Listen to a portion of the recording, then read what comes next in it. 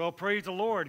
Good evening. Welcome to Joy and Praise Fellowship. It's so good to have each and every one of you tonight in God's house, and it's just it's just been a beautiful day, and it's going to continue to get better and better tonight. We're going to have a great service tonight. We're going to we're going to praise Him until we worship. We're going to worship until the presence of God is felt in this place, and we're going to hear a word that's going to change our lives, hopefully, and all that kind of great stuff. But I'd like us to pray for a few things before we get started tonight. Um, we, um, we went and saw Tom McCullen today. Um, where's Darlene? She's here. There she is, right? Darlene's here. It's good to see Darlene. Tom's making progress. Um, he still needs our prayers, so we got to keep praying for him and keep believing that God will heal him even faster yet. But he's it's a process. He's been through so much, the poor guy, but he's a fighter, you know, and and I know he's getting better because he was a little sassy today, so I know that's Tom. He's getting a little better. So, but let's keep praying for Tom. Let's keep praying for Rob you know, um, Sandy was telling that Rob's having a little flutter with that heart of his, so they're going to see a doctor tomorrow and tomorrow, right? So let's just see, maybe, maybe do an ablation, maybe not. Let's see what the doctor says. But, you know, God's the ultimate doctor, so God will make the decision what, what to do there. So keep, let's, let's keep Rob in our, in our prayers. Ron Morgan, Ron Morgan's not doing well, well. Let's keep him in our prayers. And Rebecca here is going to get all four of her wisdom teeth taken out Friday morning. All four. So she's not real excited about that. Very reassuring. And then she didn't get, and of course, then she got really upset with me when I said, well, um, you're going to lose all your wisdom on Friday. So, I mean, you know, you're not going to be very smart come, come next week. So, um, anyway, so, let, so let's keep her in our prayers. Linda, nicest surgery tomorrow, too. So, you know, we got, we got some things to pray about, right? So, why don't we stand in God's house? We'll address these right now and then we'll pray about the service tonight as well, okay? Father, in the name of Jesus, we just thank you, God, that we have a God who's alive. A God who's alive. We're not praying to a dead God, we're praying to a living God, and, and, a, and a living God that can heal still today and deliver and set people free. God, we pray today in Jesus' name that you would uh, reach down from heaven because of your grace and mercy, and that you would touch Tom McCullen right where he is. God, when we talked to him just earlier today, I asked him, What do you want to do? He said, I, I want to go to church. So, so he's got his heart in the right place, God. So, you know, honor his wishes, God. Get him well quicker than the doctors even think, God. And take away any blood that's still on his, on his brain and strengthen that spinal cord in that body, God. And help him, God, to, as they're moving into rehab, help him to just, just to recover real quick, God, and, and, to, and to see him even sooner than we think, God. In Jesus. For Rob Thompson that that whatever causes his heart to flutter, God, that it will be taken care of easily, God, and efficiently. Maybe you could even take care of it tonight, God, if you want. Save the doctors a, a procedure in Jesus' name. We pray for Ron Morgan that you will reach down into that body of his God and restore to Ron, God, all that the enemy is trying to steal from him and touch the whole Morgan family as well tonight that they're under an attack in the name of Jesus. We pray for Rebecca, God, that you will give her great favor with the dentist and the oral surgeon when they take out her wisdom teeth, God. Help her to have a fast recovery, God.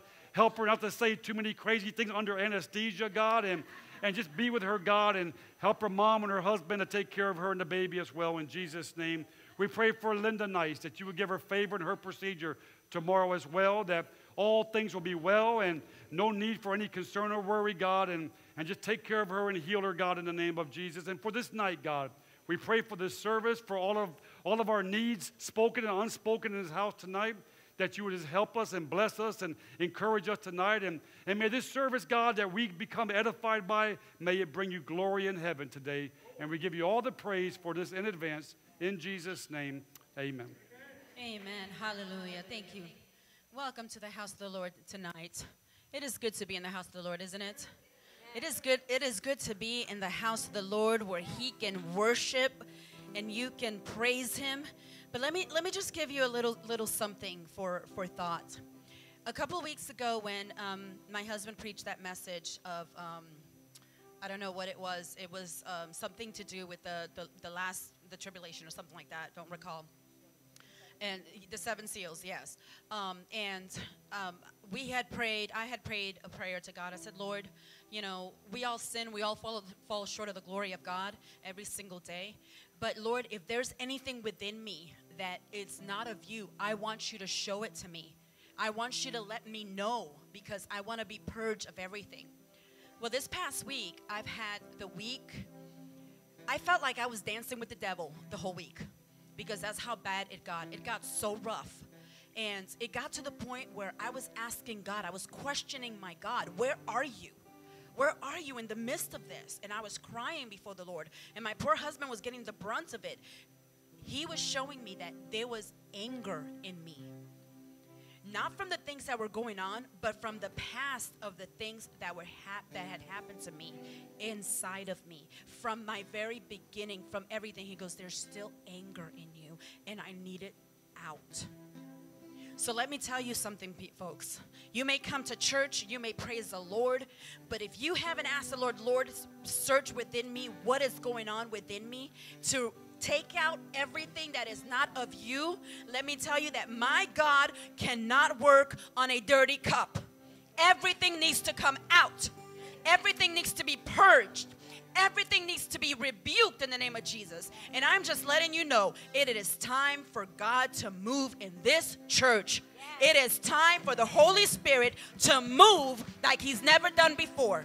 Because people are going to be coming from the north, the south, the east, and the west. And we have to be prepared. So start asking God, Lord, show me what I have to get rid of. Amen. Amen.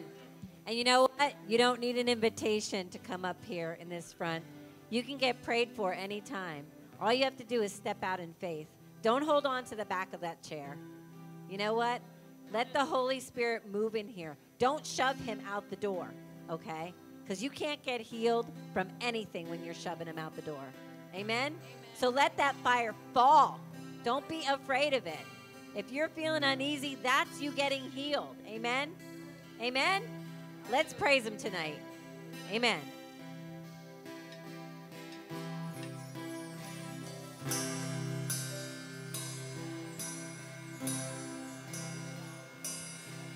Forever reign.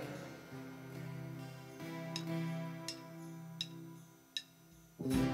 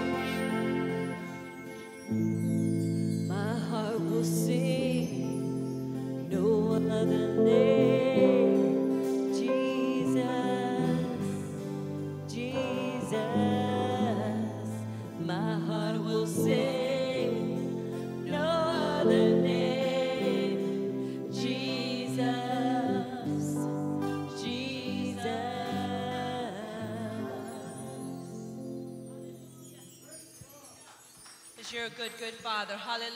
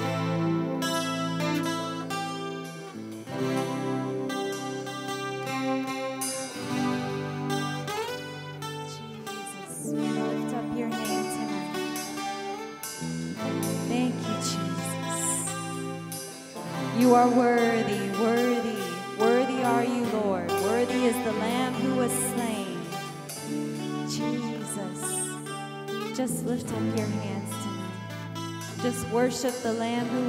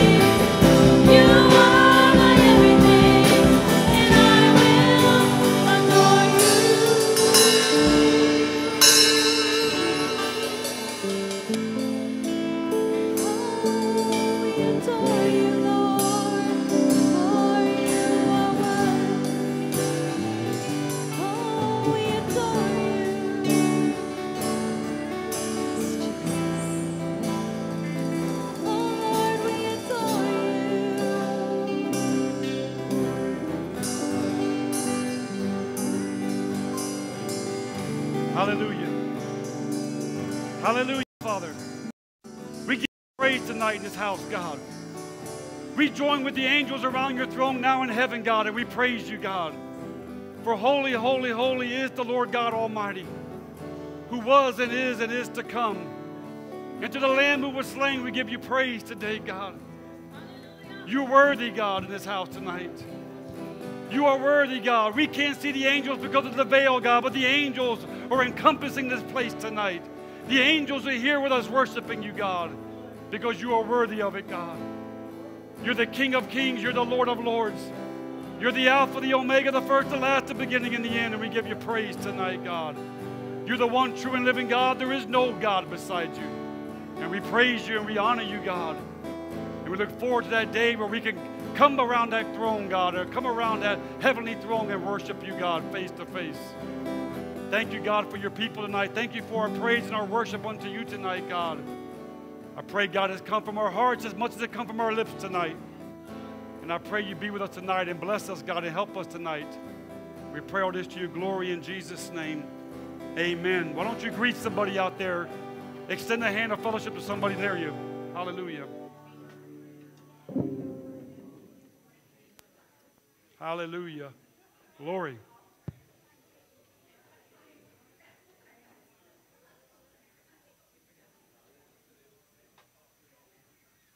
Well, praise the Lord. It's good to be in the house of the Lord tonight. Thank you for worshiping God with us. Thank you for being here. Those that are at home, thank you for watching the stream. We hope that you're feeling as blessed as we're feeling here tonight.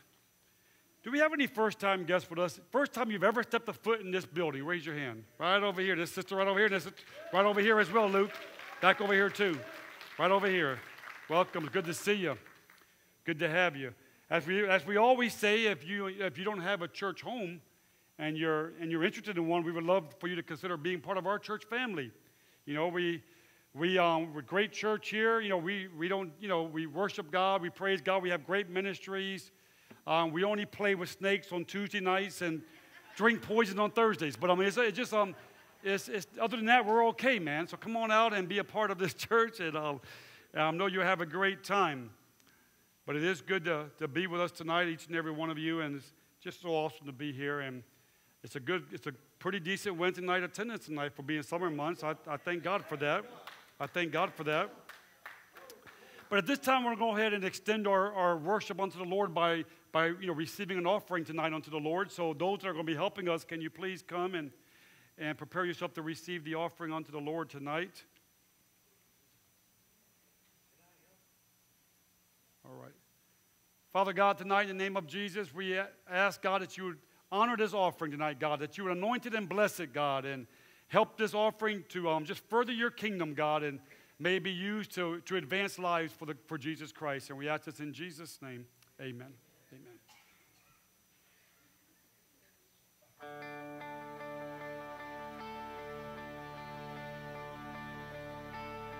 We met half a dozen times. I know your name, I know you don't know mine. But I won't hold that against you. You come here every Friday night. I take your order and try to be polite.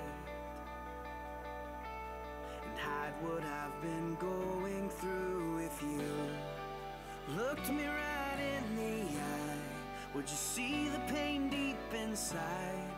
Would you take the time? Tell me what I need to hear. Tell me that I'm not forgotten. Show me there's a God who can be more than all I've ever wanted. right.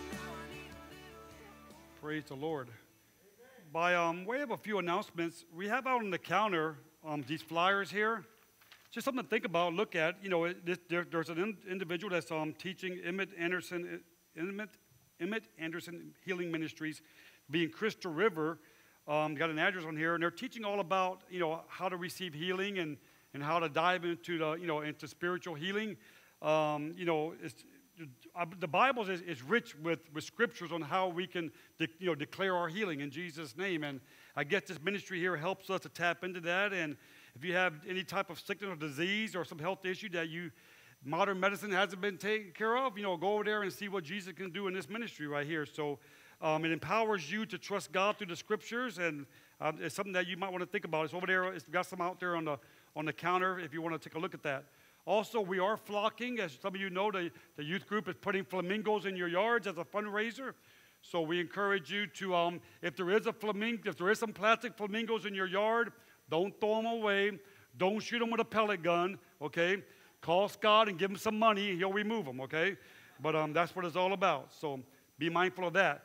Also, um, August 30th, Tuesday, August 30th, 10 o'clock in the morning, Sandy Thompson's Tuesday morning Bible study in Revelation is kicking up again in next year.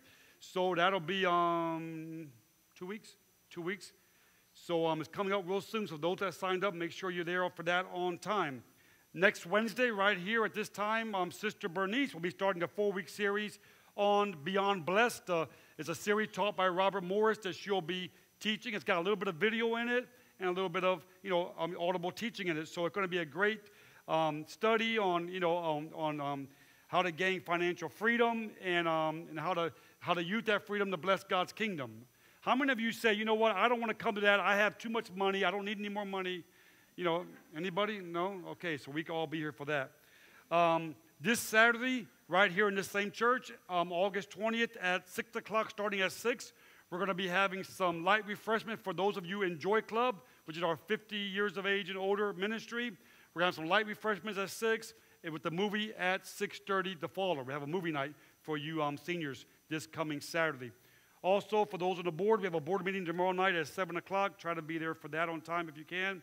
We have the food and fellowship group sign-up sheets out there on the foyer counter, or on the table in front of the foyer counter. We already have sign-up leaders. We just need people now to sign up for these groups. These groups are so important because they're all about developing relationships, okay? That's what this is all about. We have so many, you know, new people. When I say new, I don't mean like brand new today, but new over this past year that are still getting to know people. What better way to get to know somebody but than been breaking bread with them around the table, okay? So sign up, be a part of them groups, and um, I know you will not be dissatisfied with that, okay? So that's all I have as far as the announcements tonight. So I'm going to go ahead and get into the words, so that way I won't keep you all night.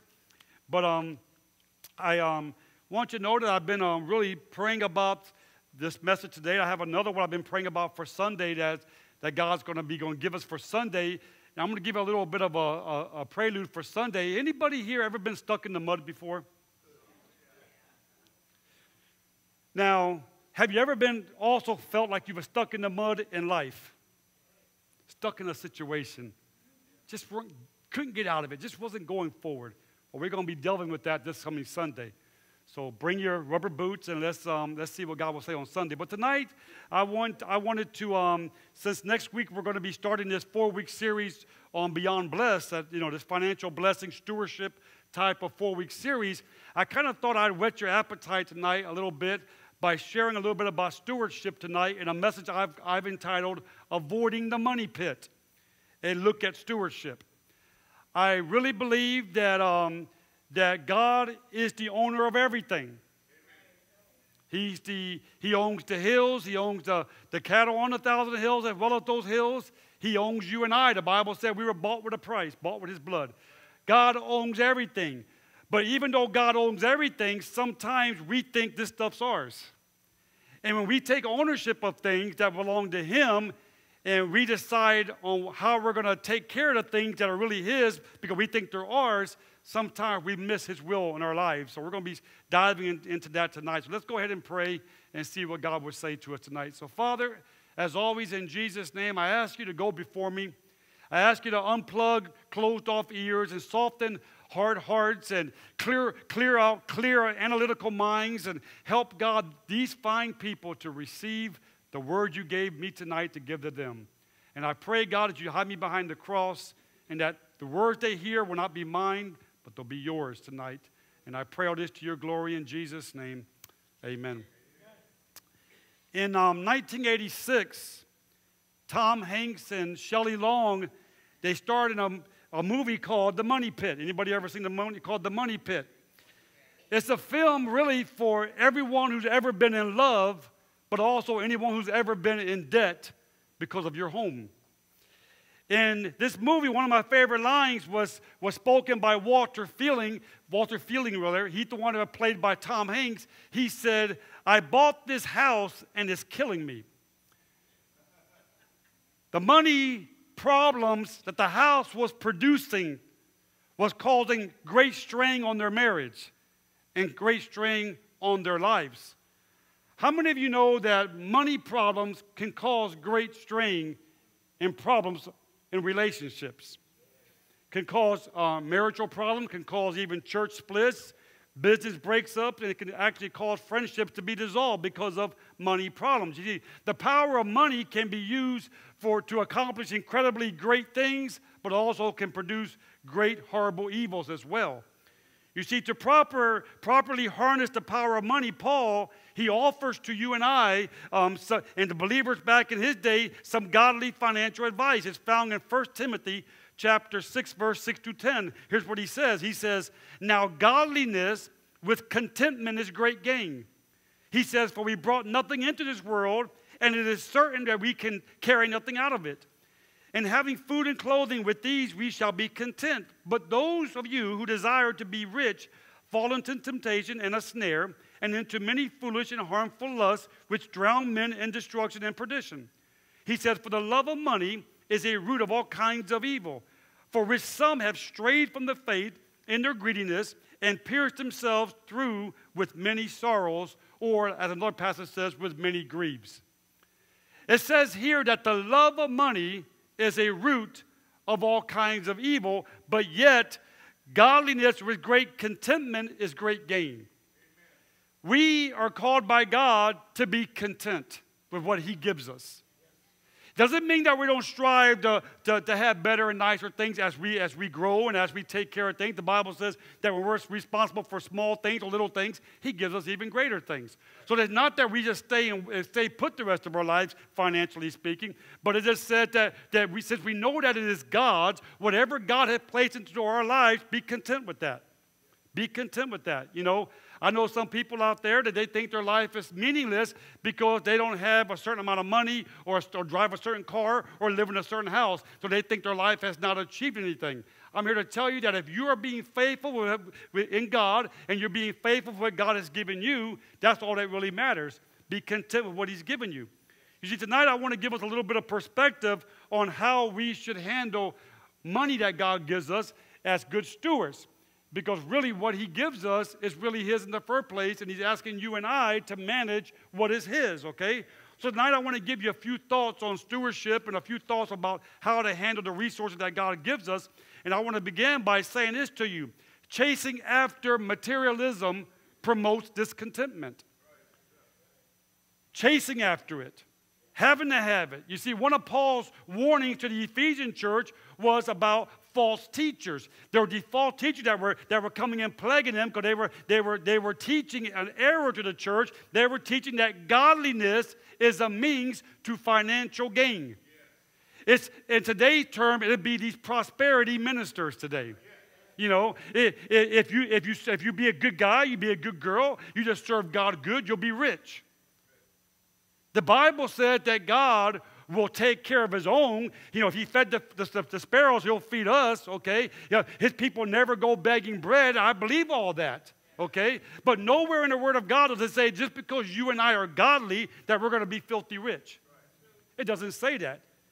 He will take care of his own and he will bless us. If, we're, if, we, if our heart's about blessing others, God will bless us. That's the way God works, okay? But just because you and I claim to be godly doesn't automatically mean that we're all going to be driving Cadillac Escalades and have our own jetliner. That's not the way it works. You see, God said that the righteous will not be shaken and, and he will provide for our needs, but that doesn't mean that we're going to guarantee all to be filthy rich, okay? We're supposed to be rich in Jesus. Our, our treasure should be stored up in heaven. Does that mean that we're not supposed to strive for nice things? No, we're supposed to strive for nice things, okay, in God. But we're not supposed to think just because we're godly that we're automatically supposed to be rich. Not rich in finances, we're supposed to be rich in the Lord, okay? Paul says in Philippians chapter 4, verses 12 through 13, Paul says, I know what it is to be in need, and I also know what it is to have plenty. I have learned the secret of being content in any and every situation, whether well fed or hungry, whether living in plenty or in want. Then he says, I can do all things through him who gives me strength. Now listen, Paul here is saying, I know what it is to, to, to, have, to have things, to have plenty.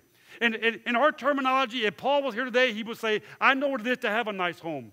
I know what it is to have a nice car, to have nice clothes, to have nice jewelry, to have a nice bank account. I know what that is. But I've also been on the other side of the railroad tracks. I know what it is to be in need. I, have also known it to be in my season of need where, where you know, I, I may have lost a job and things were a little sparse. I, uh, you know, I had a, unfortunately, I had a, I had a divorce. My wife took my house. I know what it is to be in a little bit of a need also, he was saying.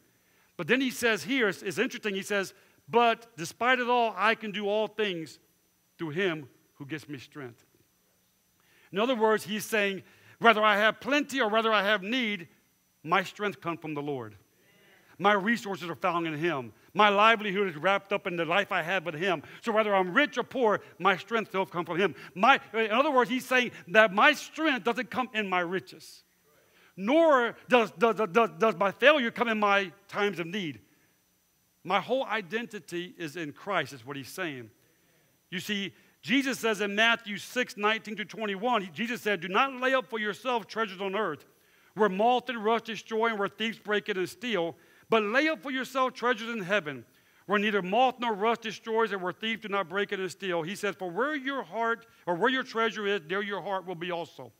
Now, now listen, now, now that doesn't mean that you can't invest, doesn't mean you can't have a nice healthy bank account. Doesn't mean you don't have to have nice things. Listen, I hope I, my prayer is that every single one of us can, can retire and, and have a nest egg to give to our children if we have any. That's, that's great. Okay, I, I don't think God takes any pleasure in seeing poor people. You know, I don't think God walks around and says, you know what, um, if you walk around with sackcloth and ashes on and you walk around like a hermit and you walk around very humble and li- live under a bridge and say Jesus is coming, that you're going to be blessed more than those that live in a gated community. That's not the way it works. Okay? So there's nothing wrong with having nice things. Strive to have nice things. But to have nice things is, is not to say, look at me is to say, God has blessed me with this, and I'm going to honor it. I'm going to be a good steward of what God has given me. If God gave you a tiki hut, make it, make it the best tiki hut it can be, man. If He gave you a big mansion, do the same with that. We got to be good stewards of what God has given us. Let me tell you, folks, I have been as a pastor over the years, when I do visitations, I have been in some of the most humblest homes, financially speaking, of people in churches that didn't have a lot and you can just sense God's presence in there. And I've been in some extravagant homes, and I didn't feel nothing there. So it doesn't always matter the size or the kind of house or whatever. It's about God. And, and if, this, if this is being given to Him for the glory of God. You know, with that building back there, if I'm going to disappoint some of y'all, if you think that building is being built just so we can have meals and have a place for the kids, you're mistaken. That is dedicated for the glory of God to try to advance the kingdom, to win souls in the process of us eating. That's what it's meant for. And that's what we got to do. That's what we got to do. You know? But he says here also in Hebrews 13 5, keep your life free from, love, from the love of money and be content with what you have, for he says, I will never leave you, nor will I forsake you. So again, he talks about, about, about contentment, about keeping your life free from the love of money. Okay? It's not that money's bad, it's the love of money. Remember, don't you remember the story with the young rich ruler? The young rich ruler was rich, it says. And he talked to Jesus. And I guess he had a little bit of a conflict going on in the spirit because, you know, he might have heard some teaching that, that rich people, that, it, that it's harder to go through the eye of a needle for a camel than, than the rich man to get to heaven. So he might, he might have been a little scared. Let me tell you something right now. Rich people go to heaven no different than poor people go to heaven. If their hearts are right. It's all about their heart. Okay? And, and, and I'm here to tell you right now that, that in this case right here, it talks about contentment, not to love money. The rich young ruler loved his money more than he loved Jesus. So when Jesus realized that, he said, Listen, it, go ahead and sell everything you have and give it to the poor and follow me, and you'll have riches in heaven. And the Bible said that the young rich ruler walked away sad. And I've always said this one thing I'm going to tell you right now. I've been saying it for years. It's my patent. Give me 25 cents if you use it. And that is this. That I say this that the young rich ruler, he held on to what he could not keep. and he rejected the very thing he could never lose in Jesus. So it's all about your heart.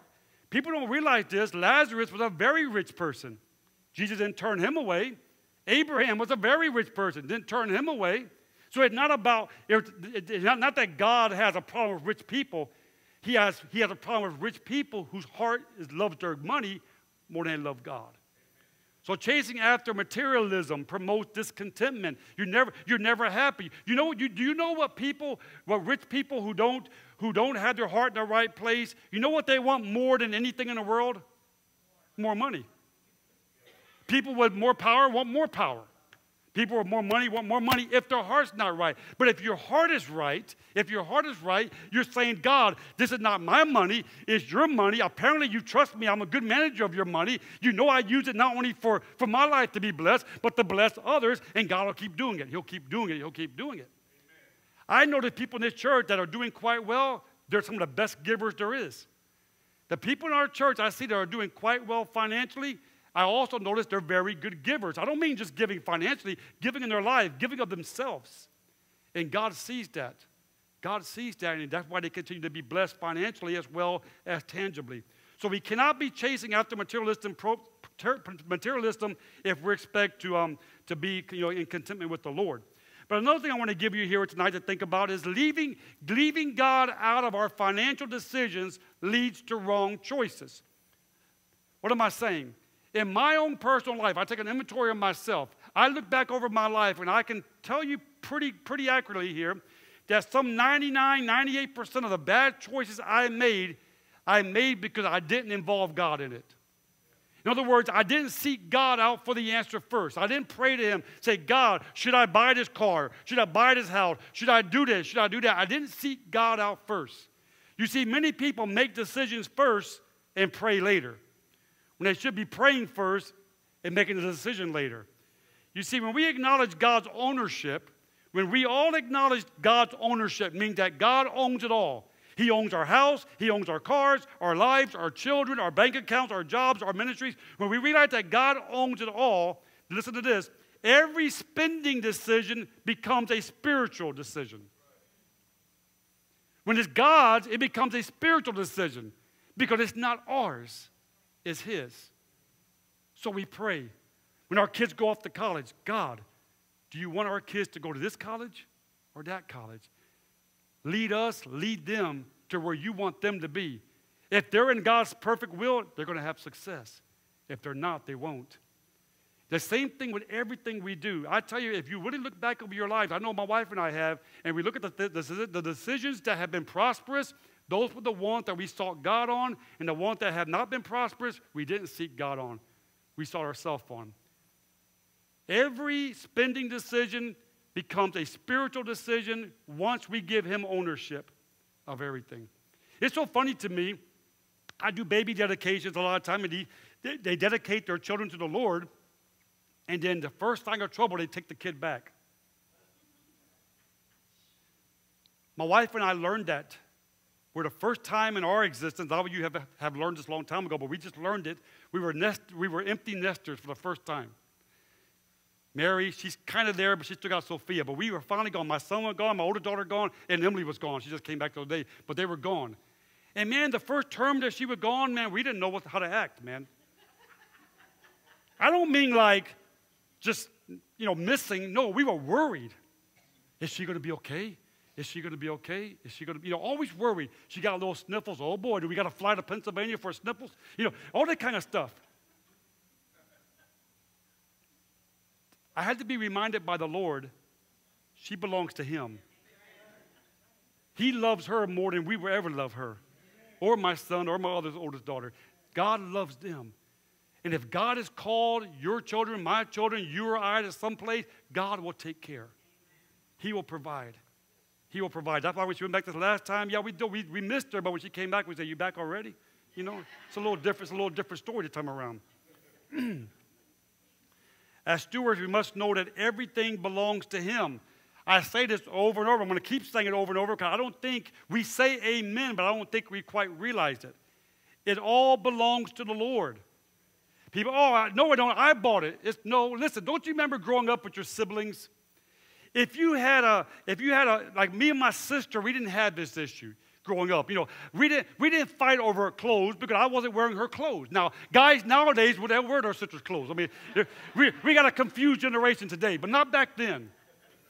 Me and my sister, you know, my, my mom, my, my, my sister never ran into the, into the living room and said, Mom, you know, Eddie's wearing my dress. No, you ain't to worry about that. But if you get two females, you have that kind of issue. They're touching my stuff, they're grabbing my things, they're wearing my clothes, right? But if you look back, really, if you had the maturity to look back, it's really not your clothes, it's God's clothes. Oh, you, you're playing with my paper airplane or my metal, my model car. No, it's not mine, it's his. Now, that sounds like you're really out there, you know. Listen, God gave it to us. We can have it. He, he, he don't want to play with your car. But the reality is, it's his. And once we start to understand that, we, we look at things a little bit differently, you know.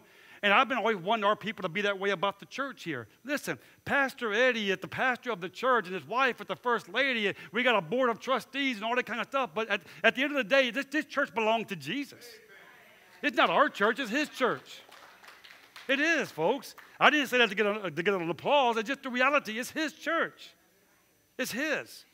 At the end of the day, it's his. And, and he's called me, he's called y'all to be good stewards of what is his. That's why, that's why if you see something that's not right, it's our job to pick it up, make it right, clean it up, do whatever it takes, because it's not our church, it's his. We got to take ownership of the church. That's why I get so blessed when I see y'all volunteering and doing things, whether it's outside or inside. I'm like, that's people that took ownership of the church. When I first came over to be the pastor here, I got to be honest with you, I didn't have a lot of faith in people taking ownership of the church. So every time there was a function here, I was worried, what am I going to, what am I going to see when I get there in the morning? How destroyed is everything going to be? And you know what? I was kind of right on, on the, in, the beginning, in the earlier stages, but we have kind of matured and grown as a church, and everybody cleans up their mess when it's over with because they know that this is God's church. Let's, let's make it nice. Let's keep it clean. Let's do it right. Psalm 24 1 says, The earth is the Lord's, and the fullness thereof, the world and those who dwell therein. I'm saying these things to, to confirm again to you that I'm not just making this up, it all belongs to Him. The earth is His, and everything therein belongs to Him. It's all His. And if He has given us these things to be good stewards of, you know, then we need to be good stewards of it. And it's not just our, co- our homes, our cars, our clothes, our kids, also it's our wallets it's our purses. You can, I found out over the years, you can touch anything but somebody's, somebody's money. Don't mess with their money now.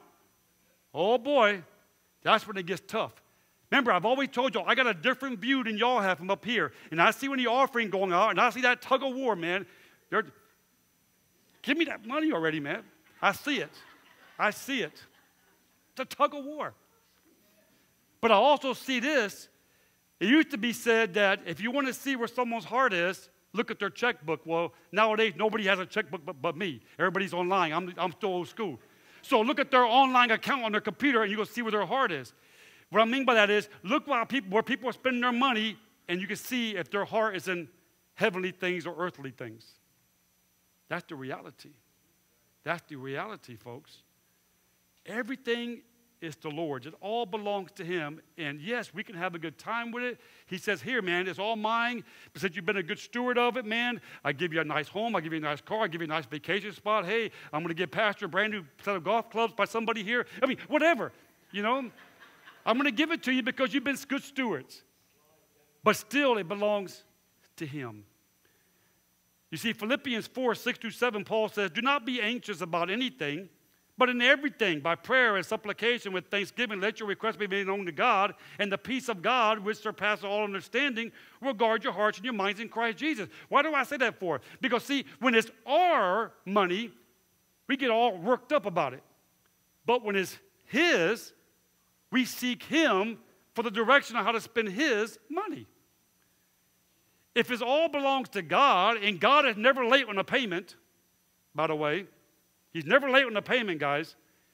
God is the kind of God that does things right. So if, we, if everything belongs to Him and we're not stressed about it and we're seeking Him out, we're not anxious, we're seeking Him out about it through prayer and, supplication and thanksgiving, God will give us, it says here, and the peace of God, which with surpassing understanding will guard our hearts. It means God will give us the peace on what to do with that resource.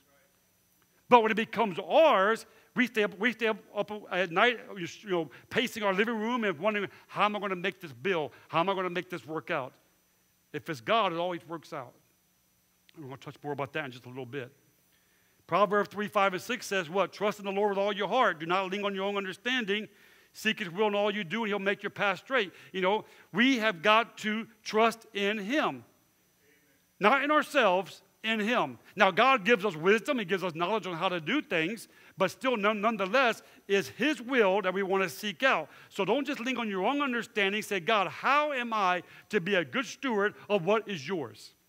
Listen, I'm going to be a little blunt here. We got, and I won't, I'll never say names because I don't even know all the names, but we have very, very honest, good givers in Joy and Praise Fellowship that are faithful to giving, and then we got some that need to be shot. And why do I, why do I say that? Listen, listen, folks. it's incredible. It's not about what tax bracket we fall into. It's about the condition of our hearts.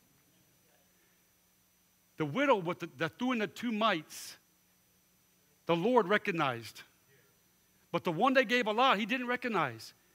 It's not that we don't need a lot, we need a lot. But what I'm saying is, he recognizes the heart. He says she gave everything she had, means she gave from the right heart. When I see, when I see um, that we're growing, we're growing the way we do, and, and we got more people now than we ever had before, and yet we're comparing apples to apples, comparing other churches in the area that I have friends of and pastors of, the same size church, the same size type of people, and they're and they're out giving us by ten to fifteen thousand dollars every week. You start to wonder what in the world is going on. And I asked them, Do you have a lot of retirees? Oh, yeah, man, we got some that I don't even know how they do it. It's a condition of the heart. That's why we felt led to do this upcoming series because I think God's going to do some work in our hearts. Because the reason why so many of us are still struggling financially because we have not understood the principles of stewardship yet. And once we start being good stewards of what's His, God will start pouring into our laps some an abundance here. But leaving God out of our financial decisions will lead to wrong choices every time. So that means everything we do, especially financially, we've got to involve the master. We've got to involve. He said, listen, I know, you know, hey, I know you put me in charge of this, but I'm, I'm not quite sure what to do with this. What do you think, God? And, stay, and wait around for the answer. You know, a lot of us say, well, God don't talk to me. How's God going to talk to you when you, this is your prayer life? You know, Lord, um, I got to go to work, but, um, you know, tell me how to, tell me what you want me to do about this situation. I got to go, God. I'll talk to you later. You get in the car, you throw on the radio, and man, it's over with. There's no, he ain't talking to you. You ain't talking to you. We got to be able to say, take enough time to get with God and say, God, if Pastor Eddie says you made me to be a good steward, what do you want me to do with what you put into my lap? I was talking to a friend of mine today. I won't, I won't say his name because it, I don't know if he got his wife's permission yet. But he said, I'm praying about some things, and I think the Lord might, might, I'm praying about it. The Lord might want me to give a little, a little bit of a piece of land to the church. I'm praying about it. I said, okay, well, just pray about it, see what the Lord has placed on your heart. You know? But really, it's the Lord's land that He's feeling maybe led by the Lord to, to shift it over here and give a little bit in the church's name, okay? But it's still the Lord's stuff. You see? That's what I'm saying. It doesn't belong to us. I got people say this. Like one guy said to me one day, he called the church. He said, Hey, um, um, a couple months ago, I, I gave an offering there at the Lord, at, at the church. Can I get it back? he told me that. Can I get it back? I said, No, you can't get it back. I said, Once you gave it, sir, you gave it to the Lord. You didn't give it to me. I didn't spend your money. You gave it to the Lord. It doesn't, it doesn't come back. I'm sorry. That's not the way it works. So leaving God out of financial decisions leads to wrong choices. I'll give you another one here tonight. Not honoring God with the first fruits stops financial blessings. When God gave me this, I said, God, this will be the most controversial part of the message tonight. People at home looking at me right now, people in the house, there'll be some of you at home, some of you here that won't agree with this thought tonight. But I'm here to tell you, I love you anyway, okay? You can love and you can agree to disagree, but I'm sharing with you what I feel God laying on, to, laying on me on this topic right here. Not honoring God with the first fruit stops financial blessings. I'm here to tell you that, that the subject of tithing, for example, or first fruits have been a, a debatable subject and throughout history, throughout, throughout decades and, and centuries, as much as, as whether a believer should drink or whether a believer should gamble or not. It's been one of them debatable things because there is no thou shalt not in there. So it's been a debatable gray issue. It hasn't been a black and white issue of the tithe, hasn't been a black and white issue about alcoholism and that kind of stuff. But we have to always read into things, okay? There's other scriptures. It doesn't, for example, in alcohol, it doesn't say thou shalt not drink, right? It said, Thou shalt not get drunk, but it also said, Thou shalt not do anything that can cause your witness to, to, to be succumbed or cause anybody to stumble or do anything that causes you to be out of self control. Folks, listen, I have not drank alcohol in 29 years. You let me drink one, one beer, I'm going to be pretty tipsy. I'm going to be saying more crazy things than Rebecca will be after her um, wisdom teeth come out. Okay? Anything that causes you to be out of self control is not good for you. That's just a different subject for another day. But what I'm saying here is that the tithe has been a controversial subject, and there's always been two camps. Camp number one says that was only for the Levitical priesthood the issue of the tithe was a requirement for the Levitical priesthood, or, and, and, and, and, and, uh, furthermore, it was done away with at the cross. When Jesus died on the cross, that it was finished, grace moved in, and there's no reason for the tithe anymore. That's camp number one. I, I, I respect it, but I, but, I know some people are at home looking at me right now saying, that's right. I'm saying, I respect you, but I don't agree with it. The other camp said that, that uh, the other camp said that the, the tithe is biblical. There's passages in the New Testament given by Jesus and Paul himself that, that speaks on giving. For example, don't you remember when, um, when they came to Jesus and they said, Why don't your disciples um, pay taxes? And he said, Well, well give, me, give me the coin. Let's see what it is. They say, Whose insignia is this? They go, Well, it's Caesar. He goes, Okay, give to Caesar what is Caesar, but give to God what is God's. Now, they might say right now, the other camp will say, yeah, but it doesn't give you a percentage. It doesn't give it to you. Okay, well, we're going to talk about that in just a minute here. You see, Proverbs 3 9 says this Honor the Lord with your wealth, with the first fruits of your crops. Okay, now again, that passage does not speak about a percentage, right? You don't see 10% in there, 5%, 20%. It just says first fruits, right? The first fruits of your crop. Now, Keep that in your mind for a minute, and also keep in your mind the fact that the Proverb 3 9 is a what? An Old Testament passage, okay? Keep that in your mind. Now, first fruits began as a faith based offering to God of first agricultural produce of one's harvest. In other words, back in the day, they weren't giving out money, they were giving produce or cattle or whatever it is. That's how they gave, okay? Uh, you know, my wife and I, we love Little House on the Prairie, and, and, uh, we, and the other day I was looking at the show, and, and, and, and, and the, doc, the doctor of the town, the people always feed it, um, the people always pay him for his services by giving him chickens. He said, I always get paid by, by chicken. I got so many chickens, I don't know what to do with all these chickens. They didn't have money, they gave chickens. That's how it was back in his day. They, they, gave, they gave the first fruits of their produce, okay?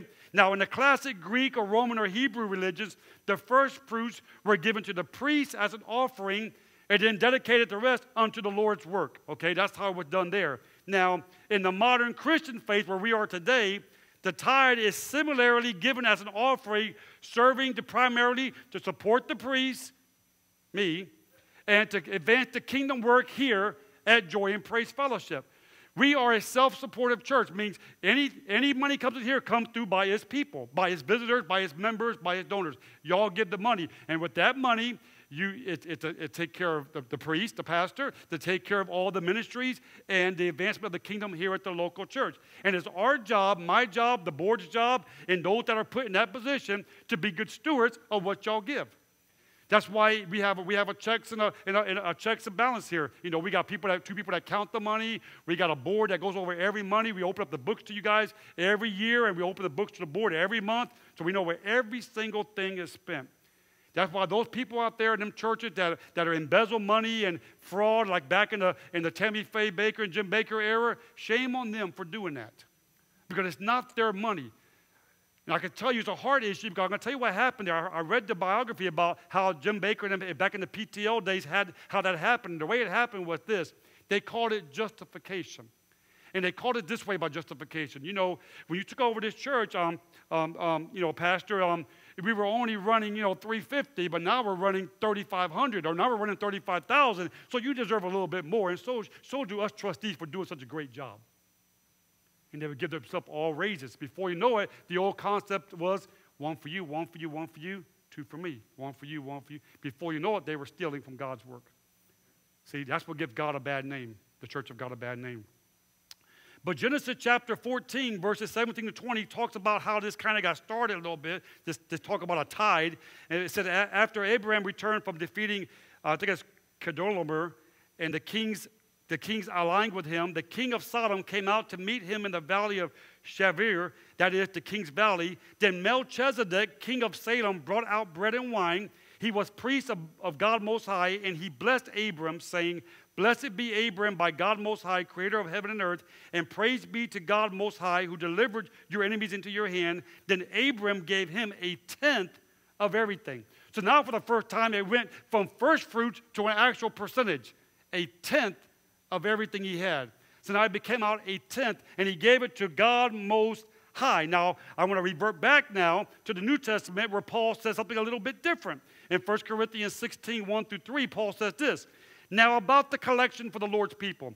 Do what I told the Galatian church to do. On the first day of, the, of every week, each one of you should set aside a sum of money in keeping with your income, saving it up so that when I come to, to the to collections, will have been made. Then, when I arrive, I will give letters of instruction to the men you approve and send them with your gift to Jerusalem. Here he uses the, the, the, the, phrase here, collect, I mean, putting together, setting aside a sum of money keeping up with your income.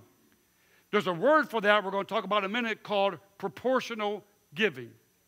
Okay, it's a sum. He didn't say a tenth, he didn't say a percentage, he said a sum. So here in Genesis, we see an actual percentage, and here in Corinthians, Paul says a sum, okay, of money, which speaks about a proportional giving, okay? So you might say, okay, now we're at a crossroads now. What is it now, Pastor? We're at a crossroads. Well, now let's go back again to the Old Testament in Deuteronomy 16, 17, where it says, each of you must bring a gift in proportion to the way the Lord your God has blessed you.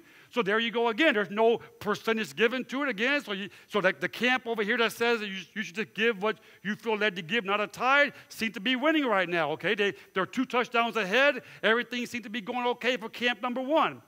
But you have to understand something that that's an Old Testament passage as long as well as the one I'm going to tell you next, which is Malachi chapter 3, verse 8 and 11, where God says this Will a man rob God?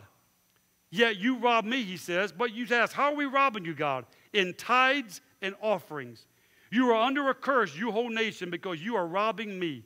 Bring the whole tithe into the storehouse, that there may be food in my house. Test me in this, said the Lord God Almighty, and see if I will not throw open the floodgates of heaven and pour out so much blessing that you will not be room enough to contain it. I will prevent pests from devouring your crops, and the vines in your field will not drop their fruit before it's ripe, says the Lord Almighty. Here God says, You are robbing me. You might say, Wait a minute, Pastor, that's an Old Testament passage. So what Deuteronomy on proportional giving? It's an Old Testament passage. But he says here, You're robbing me and you're under a curse because of it. And he does something here that you will never see in all the scripture. He says, Test me on this. Remember, even Jesus, when the devil was tempting him in the wilderness, said, You don't test the Lord thy God. But here he's saying, Test me on this. Test me. Test me and see if I don't open up the floodgates of heaven. He's saying, If you will be obedient to me and do this and give me what belongs to me, I will, I will bless your socks off.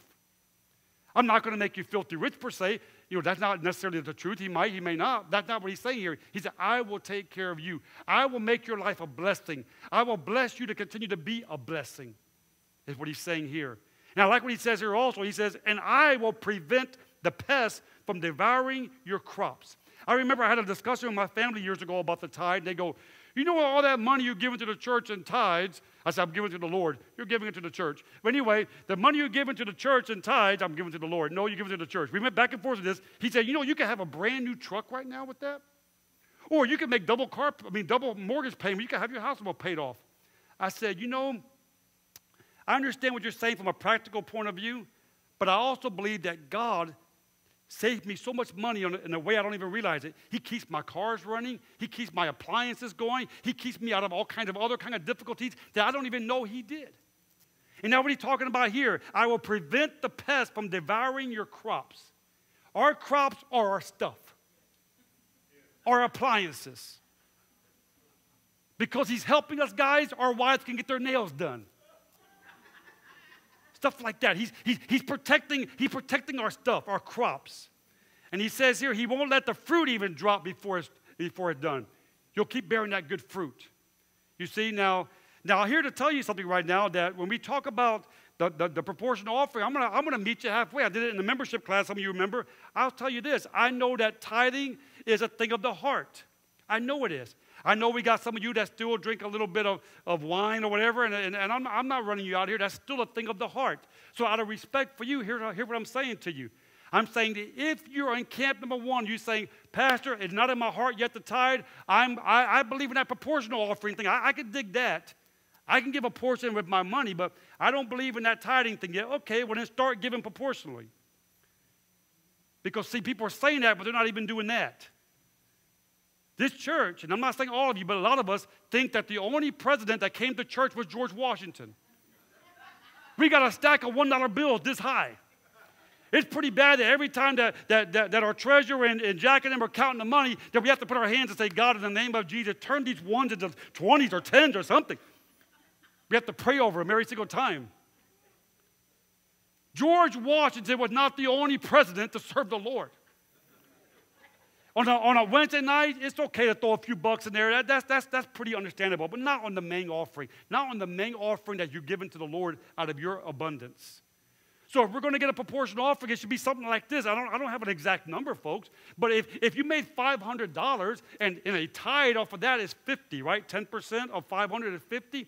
Well, a proportional offering on $500, if you believe in that, is not a dollar. How about 25? How about 30? You know, how about even a 20? Okay, I'll give $2. No, it's not $2.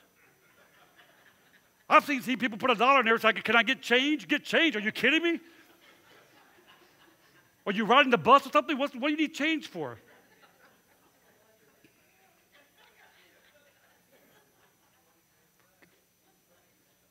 But what's so funny about it, it sounds funny, but here's the sad thing about it, is that God wants us to prosper. He wants us to have nice things. He wants us to have an inheritance for our children. And we can't have that if we're keeping from God. So, whether it be tithing or proportional giving, we have to start learning to give to God. We have to start trusting that it's not ours, that it's His in the first place. And that's why I'm talking about this tonight, and that's why we're going to have this series for four weeks, because some of us have understood this principle for years, but some of us can't get it yet. One lady said to me the other day, I can't afford to tithe. I said, You can't afford not to. I worked a budget for. I said, "You're in such a bad shape, you can't afford not to. You need, you need, you need. Forget about Charles Schwab. You need Jesus Christ to help your finances. They're that bad. Forget about Raymond James Financial, Charles Schwab. They're, this is out of their league. You need Jesus. You need Jesus, man. But I'm here to tell you, folks, that a lot of, lot of Christians who say I can't afford to tithe are the same people that have three and four iPhones, three and four flat screen 70 inch TVs, have, a, have an Escalade parked out there in the parking lot, but yet they can't afford to tithe. It's all about priorities, it's all about the state of your heart. I can't speak for everybody here, but my wife and I have been blue collar earners for the, for the majority of, of our lives in our marriage. We have always tithed, always, and God has always provided our needs. And because he, was, because he loved us, he threw a few of our wants in there. It happens. He's faithful. Trust me, I wouldn't, I wouldn't lay you astray. The last passage I want to give you is found in Luke 6.38. Luke, he says here, Jesus says, Give and it will be given to you. A good measure, pressed down, shaken together, and running over, will be poured into your lap. For with the measure you use it, it will be measured to you. He said, Give it. Give it to the Lord. Okay? You don't want to give a tithe, it's not in your heart yet, give a proportional offering. But a proportional offering with keeping with your income means what God has placed on your heart. And I know that I know God knows our needs. And I know God knows our wants. And God is not going to lead you if you made a thousand dollars to throw a dollar in the offering bag. It, it, doesn't work that way. I think I told you that story a long time ago um, about that friend of mine that he invited his fiancee to church. at our church. And she came, and she came in with a sour attitude to begin with. And she came in, and they had worship, and she didn't participate a whole lot. And they had the word given, and she was just hum- humbug about the word. And they came around with the offering. They get the offering at the end of that service, and on the way out, and and she he saw she threw a dollar in there. Now I'm not saying that some of us didn't throw a dollar tonight because that's what usually Wednesday nights are, but they threw a dollar in there. And she got in the car, and he says, "So did you like the service?" She goes, No, I, I, I didn't really like it at all. He said, Well, what do you expect for a dollar?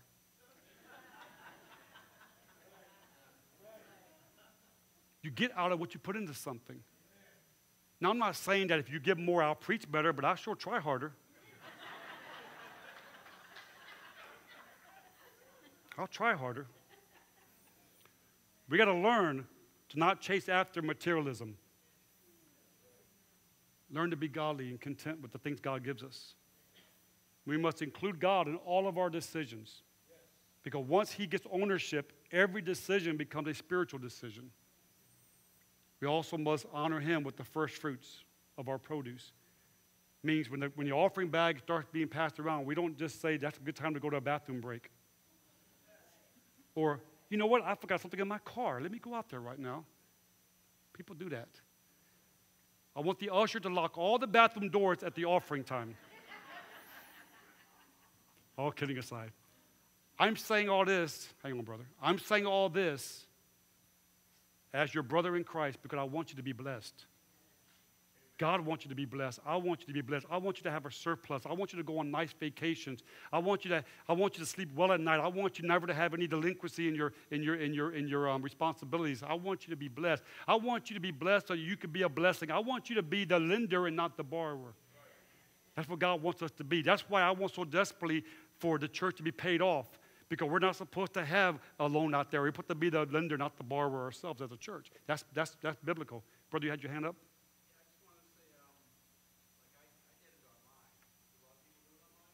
They do. Yeah. We know we have online givers. Just, just, I'm glad you said that. For some of you that might say, Pastor just spoke on this Wednesday. That, that's such didn't put no money in the offering bag. Some people put online. They, they give online. We have people that give online and also on, on text to give. So we do have a lot of ways of getting in. This is not about putting anybody on blast. Okay, this is about a thing of the heart. This is just a reminder from your pastor to you about the condition of your heart. Make sure you give unto God what is God. Okay? Jesus, He asks us to be faithful to what belongs to Him. And that's what we need to do if we're going to be good stewards of what is His stuff. So, why don't we stand in God's house tonight? You've been a terrific audience as always.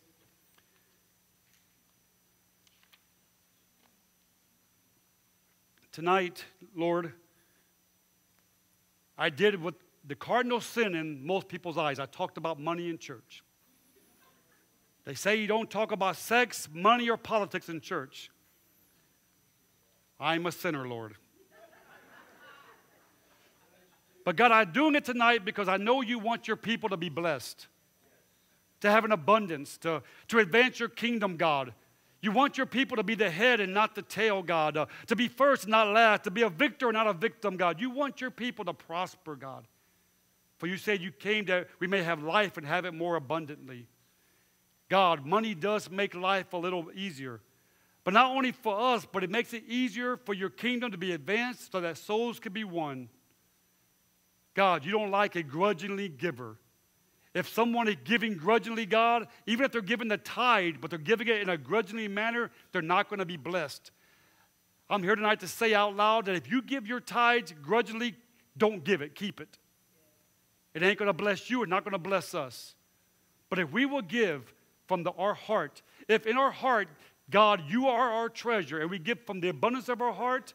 God, not only will we be blessed, but you'll will bless the kingdom through our efforts. Be with your people tonight. Bless this upcoming four week series. May it really speak to us. May it give us um, cur- um, courage and not fear to give, to give freely to you, God, knowing that you're going to be faithful to help us in all of our situations. And for those of us, God, that you have blessed already, God, with nice homes and, and nice things, thank you for that, God. Help us to continue to be, to be faithful to you, God, you know, back, God. Help our people in our church that are doing well be a role model to us who are, who are trying to get there. And I just pray your blessings upon everybody here tonight. In Jesus' name, amen amen. God bless you. Greet each other in the Lord as always. See you on Sunday.